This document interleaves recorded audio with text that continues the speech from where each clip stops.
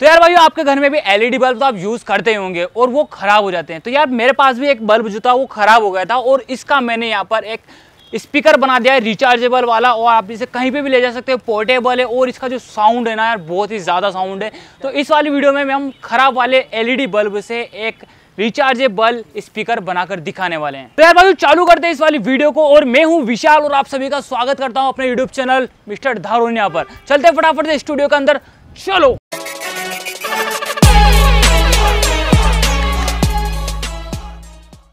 तो भाइयों में सबसे पहले यहाँ पर लेना होगा एक एलईडी बल्ब, जो कि ख़राब वाला है। अगर आपके पास ख़राब एलईडी बल्ब नहीं है तो आप किसी लड़ाकू पड़ोसी का भी खोल सकते हो रात में। वैसे यार, वो आपको सीसीटीवी कैमरे के अंदर देख लेगा और बाद में आपकी पुंगी बजा देगा तो उसका रिक्स मैं नहीं लूँगा, ठीक है? अब यहाँ पर इसका जो टोपा है, इसको पकड़ेंगे इस टाइप से और उसके बाद इस टाइप से मोड़ कर इसको खोल देंगे, ठीक है? अब यहाँ पर नीचे की जो बॉडी दिख रही है आपको, इसको हमें संभाल कर रखना क्योंकि ये बहुत ही ज़्यादा इंपॉर्टेंट चीज़ है।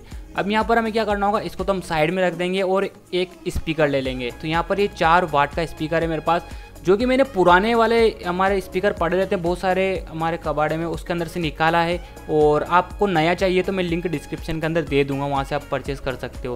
तो ये जो थोड़ा अच्छी क्वालिटी वाला स्पीकर है। अब यहाँ पर हमारा जो टोपा हमने खोला था, हमारा एल बल्ब का, उसको लेंगे और एक सैंड पेपर पे इस टाइप से रफ करेंगे आगे पीछे आगे पीछे। तो कुछ टाइम हम यहाँ पर रफ करेंगे, उसके बाद में एक बड़ा सा यहाँ पर एक होल हो जाएगा। तो इस होल के अंदर हमें यहाँ पर स्पीकर लगाना है, ठीक है? ये होल करने का सबसे आसान तरीका मैंने आपको बताया है। कोई भी मशीन की ज़रूरत नहीं है, आपको कुछ भी ड्रिल मशीन की ज़रूरत नहीं है, डायरेक्ट इस टाइप से भी आप होल कर सकते हो। अब हमारे जो स्पीकर है, इसको नीचे की साइड से हम इस टाइप से लगा देंगे और इसको सुपर ग्लू के द्वारा अच्छे से चारों ओर से चिपका देंगे। सुपर ग्लू लगाते समय आपको ध्यान रखना होगा, इसके पर्दे पे ना लग जाए, वरना ये ख़राब हो सकता है।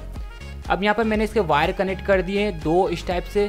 अब हमारी जो नीचे की बॉडी थी, एलईडी बल्ब की, उसको लेना है और यहाँ पर जो आपको एलईडी दिख रही है, इसको हमें खोल लेंगे। ठीक है तो यहाँ पर दो स्क्रू लगे हुए हैं, इनको निकालने के बाद में इसका पूरा सर्किट में निकाल दूँगा, जैसे मैं आपको वीडियो में दिखा रहा हूँ उस टाइप से।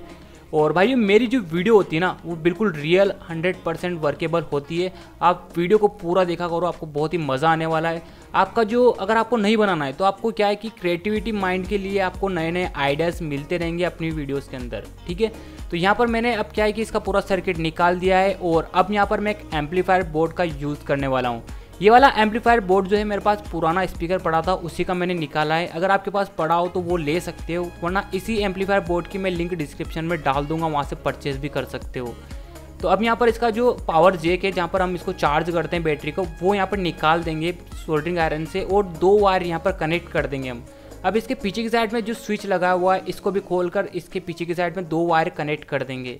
अब यहाँ पर हमारा जो बी प्लस लिखा हुआ है, वहाँ पर हमें बैटरी का कनेक्शन कर देना बी प्लस पे प्लस वाला और माइनस पे माइनस वाला, ठीक है? तो इसका जो प्रिंट होता है, यहाँ पर आप सब कुछ लिखा होता है। एस का मतलब होता है यहाँ पर स्पीकर जहाँ पर हमें स्पीकर कनेक्ट करना है, और बी प्लस बी माइनस का मतलब बैटरी तो अब यहाँ पर हमें क्या करना होगा, इसके अंदर एक ऑक्स केबल लगानी होगी। तो उसके लिए यहाँ पर पुराने जो हमारे एयरफोन होते हैं, खराब वाले, कबाड़े के अंदर पड़े रहते हैं, उनको हम निकाल लेंगे, और आप यहाँ पर देख सकते हो, इसके अंदर चार वायर दिखेंगे आपको।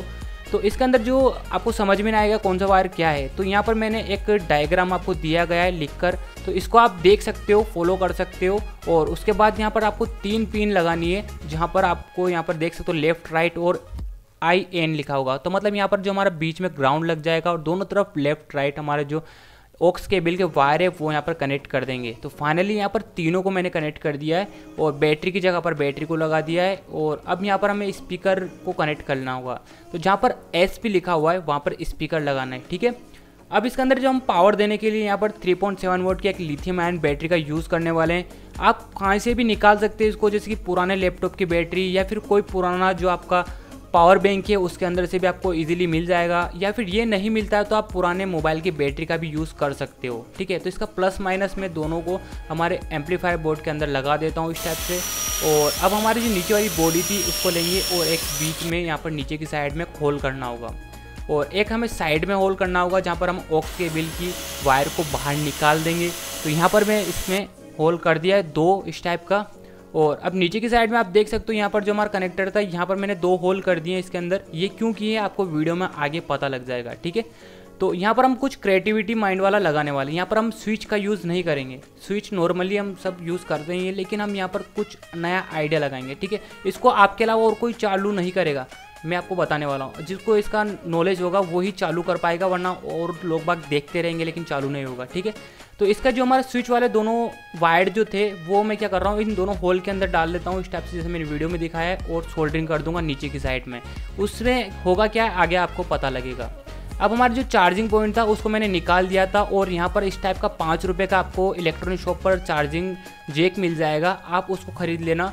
और यहाँ पर हमें साइड में लगाना होगा इसको। तो इसका प्लस और माइनस जो है यहाँ पर लंबी वाली लेग जो होती है प्लस की और छोटी वाली लेग होती है माइनस की, उसको हम यहाँ पर इस टाइप से कनेक्ट करके लगा देंगे। अब ऑक्स के जो वायर थे वो एम्पलीफायर बोर्ड से मैंने खोल दिए थे क्योंकि इस होल से निकालना था। और एक यहाँ पर गिठान बाँध देंगे ताकि ये बाहर निकल ना जाए और हमारी सोल्डरिंग टूट ना जाए और वापस से सोल्डरिंग कर देंगे। अब यहाँ पर हमारा जितना भी पूरा मटेरियल जो है इलेक्ट्रॉनिक कंपोनेंट, उनको इस बल्ब के अंदर फिट करना होगा। तो यहाँ पर मैं क्या करूँगा, इनको फिट करने से पहले इसके ऊपर एक एब्रो टेप लगा दूँगा, या फिर कोई आप इलेक्ट्रिक टेप भी लगा सकते हो, क्योंकि ये आपस में टकरा कर इनके अंदर शॉर्ट सर्किट हो सकता है, क्योंकि ये बिल्कुल पास पास में रहने वाले हैं तो इसलिए यहाँ पर इनको ऊपर टेप कवर करना ज़रूरी है। तो यहाँ पर मैंने इसको कवर कर दिया है, बैटरी को भी यहाँ पर मैंने कवर कर दिया है, ठीक है? और अब यहाँ पर हमें इस बल्ब के अंदर सब कुछ फिटिंग करना है। तो अगर आप छोटी साइज़ का बल्ब यूज़ करोगे तो भाई उसके अंदर आपको बहुत प्रॉब्लम आएगी। तो इसलिए थोड़ी बड़ी साइज़ का जो बल्ब होता है एलईडी उसका आप यूज़ कर लेना और उसके अंदर सारा का सारा सिस्टम फिट करना है आपको। तो यहाँ पर मैं इसको इस टाइप से फिट कर देता हूँ और फाइनली गाइज़ जो हमारा स्पीकर है, वो यहाँ पर चालू होने के लिए तैयार है। लेकिन अभी इसको हम नहीं चला सकते, क्योंकि इसका जो स्विच वाला सिस्टम है, वो हमने थोड़ा अलग टाइप का किया है इसके अंदर।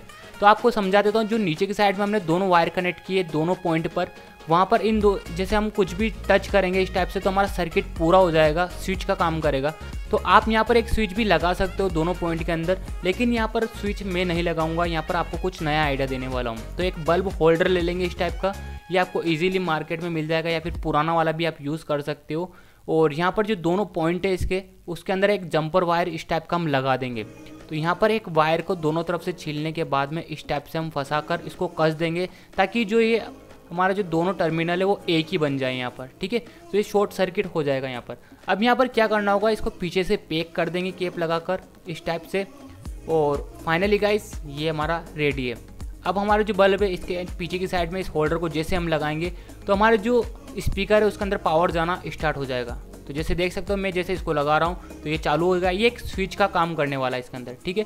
और यहाँ पर जो हमारे जेक लगाया था, इसको जैसे हम इस पिन में लगाएँगे चार्जिंग पिन तो यहाँ पर ये चालू हो जाएगा चार्ज होना। और यहाँ पर आपको रेड कलर की एक लाइट भी दिखेगी, जिससे आपको पता लगेगा ये चार्ज हो रहा है। और जैसे ही ब्लू होगी तो मतलब हमारी बैटरी फुल होगी। और इसके अंदर जो बैटरी डाली हमने, वो काफ़ी लॉन्ग टाइम तक चलेगी। लगभग आपके चार से पाँच घंटे तक आपको बैकअप दे देगा।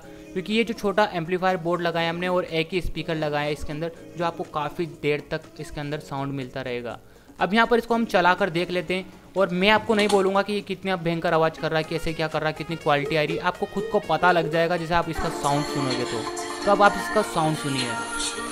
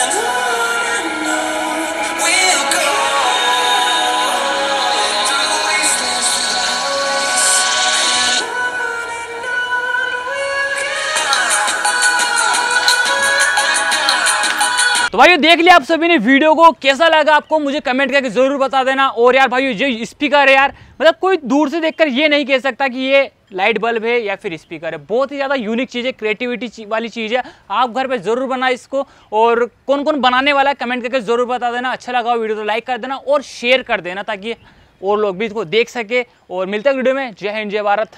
बायर बेडीज